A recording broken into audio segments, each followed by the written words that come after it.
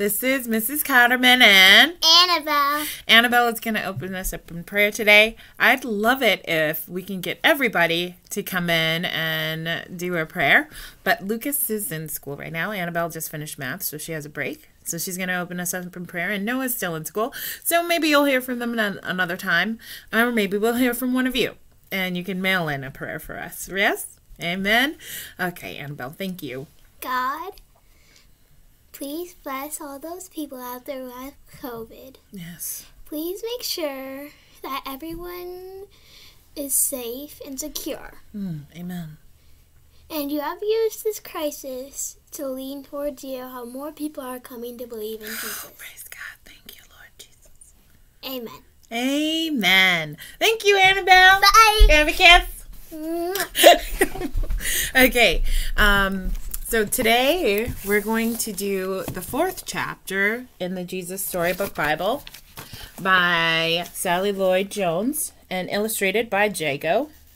I do recommend it, highly recommend it for you and your family. It's a great way to begin understanding God's Word and studying it, especially if it's your first time, uh,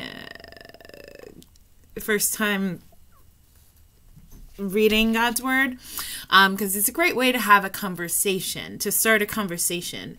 Um, you won't get the whole thing if you, you know, don't talk about it together. So I can't stress the importance of families talking and um, reflecting on God's word together. But it is great if you just um, have a few quiet moments in the evening. The chapters are not long, but I wanted to do it with you. So because we're not able to meet together, but God gave us this way to get together. Amen. So let's do this. and I just realized you can read. I can read it because I can see the words like this.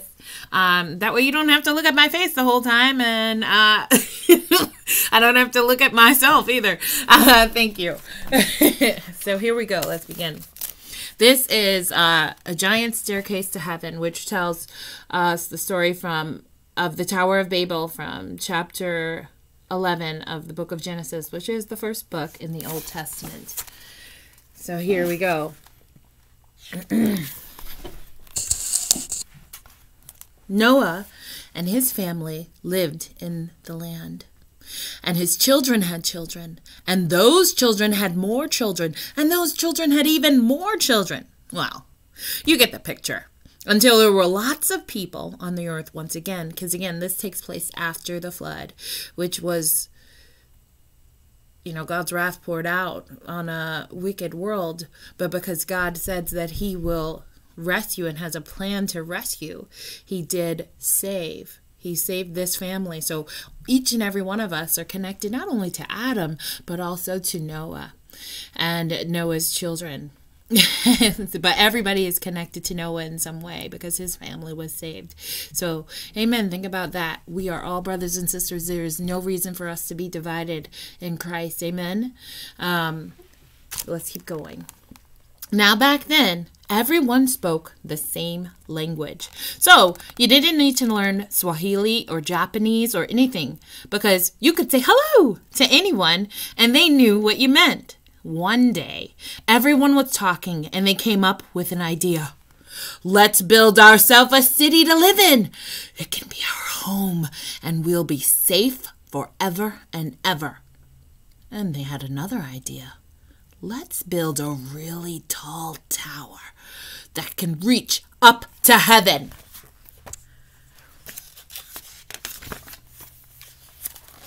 So, yes, they said,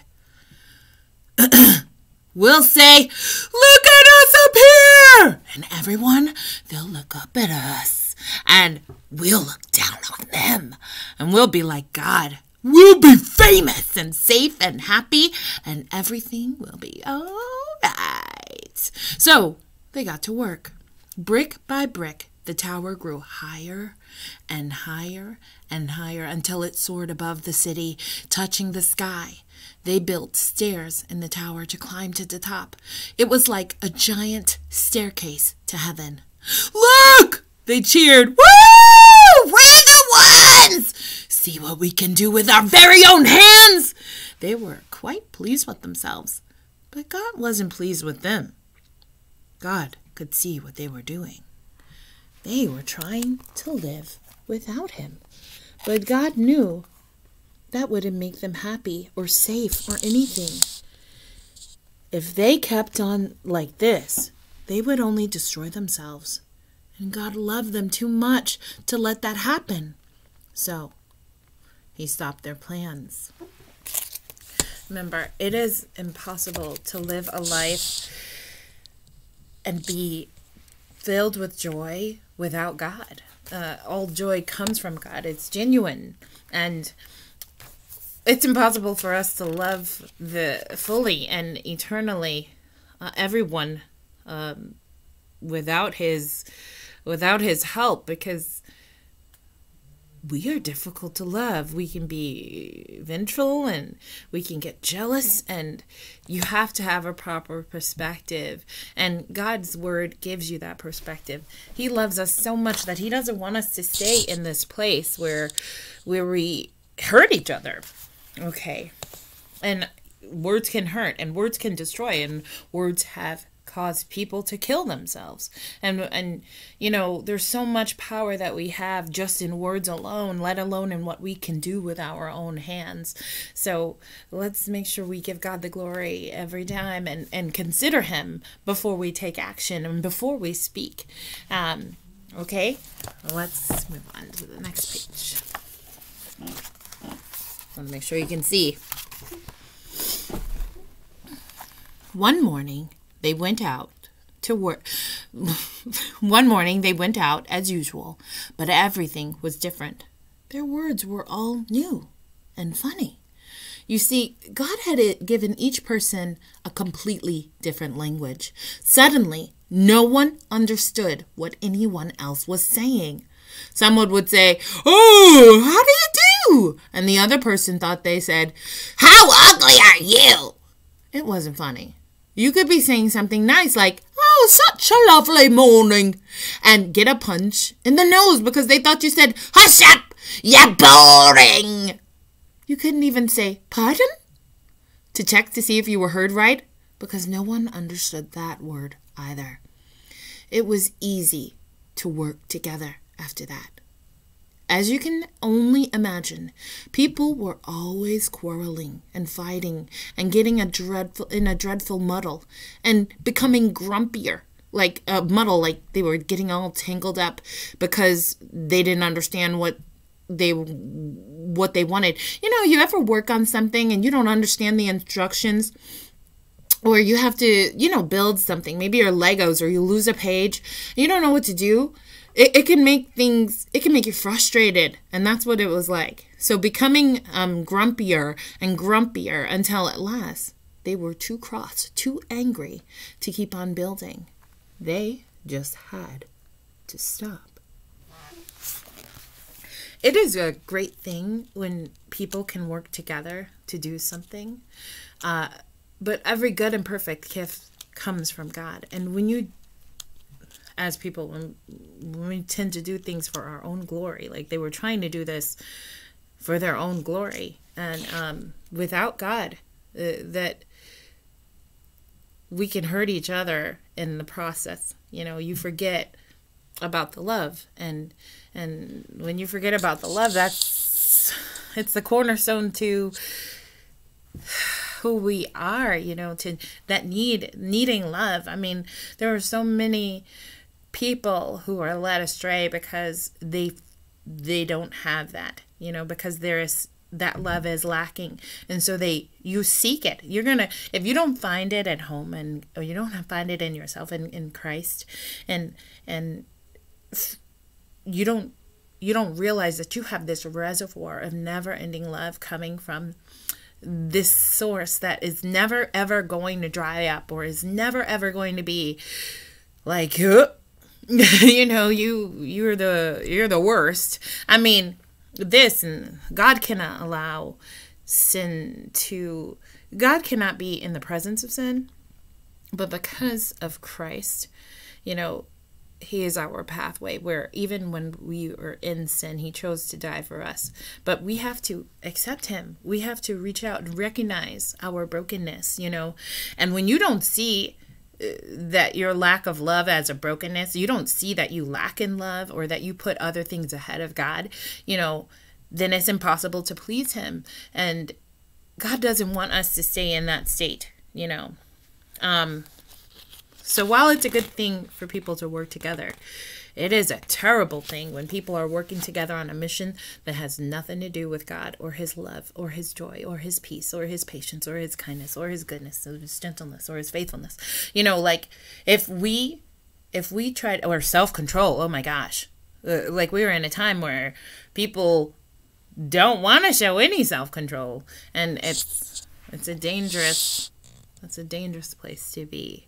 If you don't if you only see division everywhere you look and you can't find common ground. And oh my goodness, what a wonderful what a wonderful place we would be in if we could all see God in everyone, you know, if we can find a way because he's relational you know he wants to know you. He wants to know your heart. He wants to help you through everything you could ever face. I mean if we can find a way to connect and to love every person you know? How much better would this world be? How much less just how many you know eh let me read before i get distracted further distracted. You know how I am, kids. Uh, anyway, um, after that, the people scattered all over the world, which is how we ended up with so many different languages to this day. You see, God knew, however high they reached, however hard they tried, people could never get back to heaven by themselves. People didn't need a staircase, they needed a rescuer.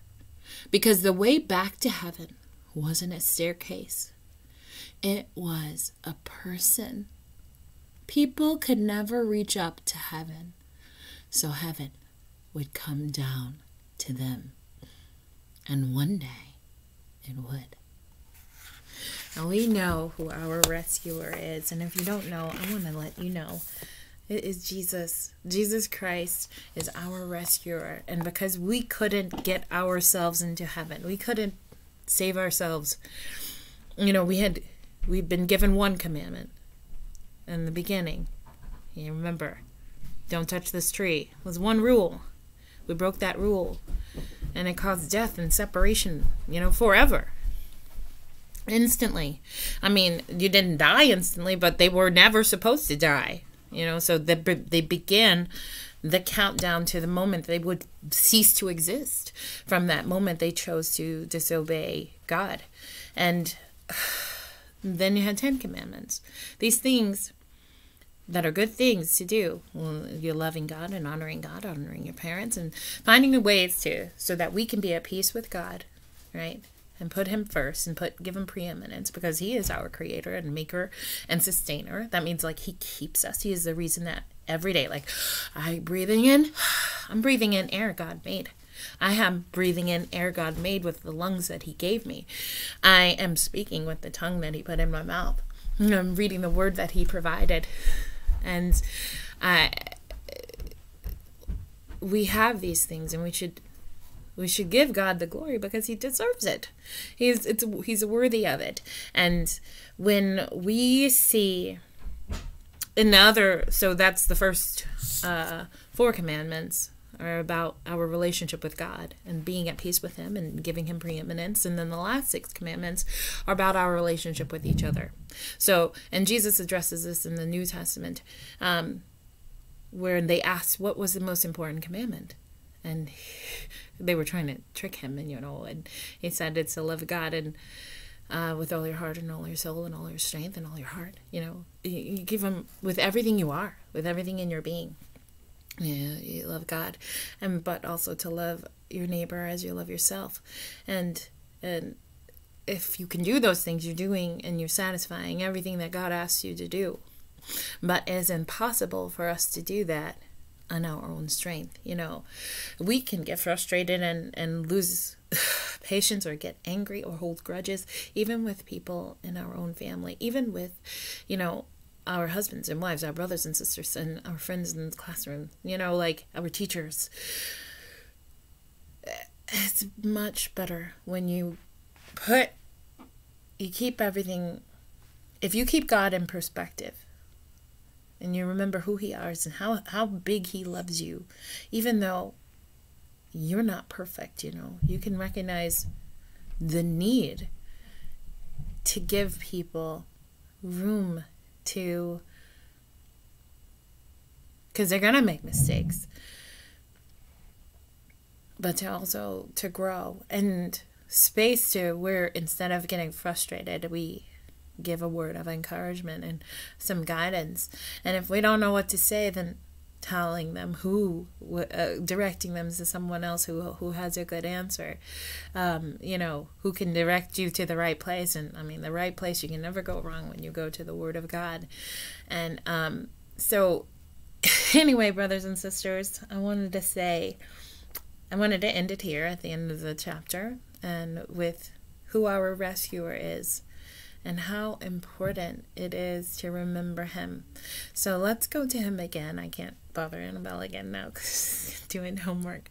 Um, but I wanted to let's sing a song and let's um, pray. Okay. Let's start with prayer. My God, we thank you and praise you for loving us too much to let us stay broken, to let us stay divided, to let us lack in peace.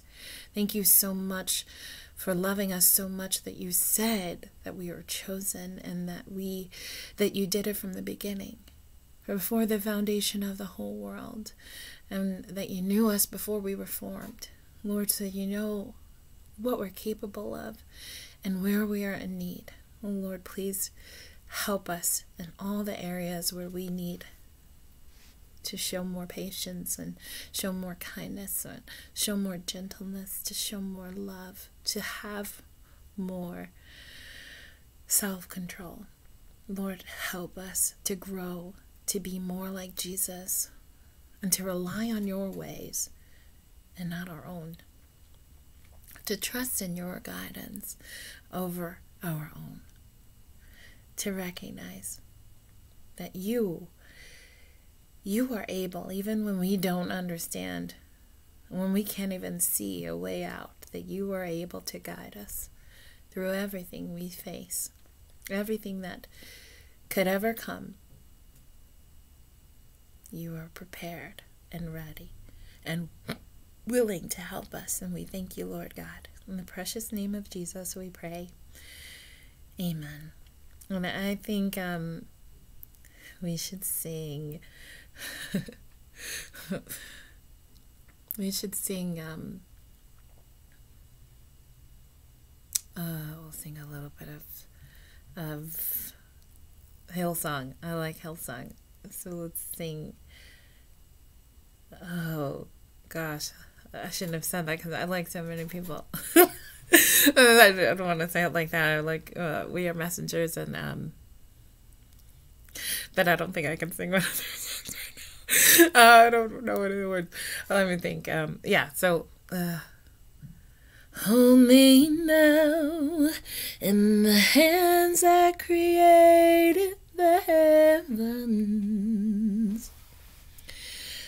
Find me now the grace that's as deep as your skies. You pulled me from the clay. You set me on a rock. You called me by your name and made my heart whole